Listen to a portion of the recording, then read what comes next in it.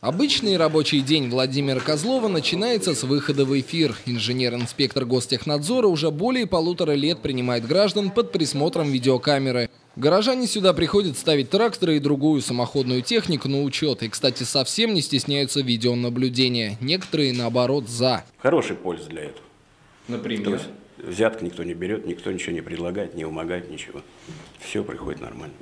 Борьба с коррупцией – одна из первых причин появления видеокамеры в кабинетах инженеров-инспекторов Гостехнадзора. Трудодни видеозаписи хранятся в памяти компьютера около месяца и по необходимости могут быть затребованными. Хотя с появлением видеонаблюдения на рабочем месте Владимира Козлова, как он говорит, ничего и не изменилось. С того момента, как здесь появилась видеокамера, э, предлагать взятки вообще не стали. Да и до этого не предлагали. Зато, как утверждают в руководстве ведомства, качество услуг вышло на новый уровень. Как э, результат, на э, сегодняшний день, 2012 год, и сегодня уже вот практически два месяца 2013, ни одного заявления от э, граждан о некорректном поведении, либо некачественном представлении услуги и о коррупционных проявлениях в инспекцию гостехнадзора области не поступало.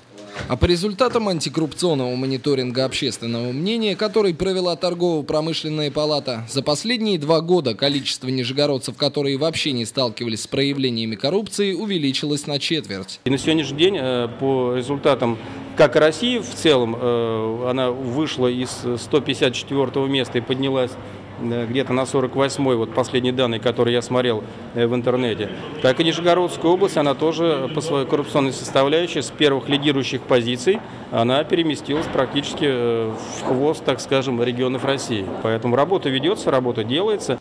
Хотя насколько важную роль в этой работе сыграют системы видеонаблюдения в кабинетах сотрудников госструктур, видимо, пока все же загадывать рано. Однако в Гостехнадзоре эту практику продолжат.